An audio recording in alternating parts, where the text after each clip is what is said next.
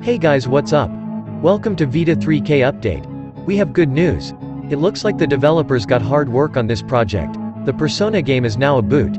And the developer said, need to decompress BC1 2-thirds textures with the CPU as they are not supported by smartphone GPUs. It's interesting that the Vulkan renderer did not crash while using an image with an unsupported format. Now let's take a look at some screenshots of this game.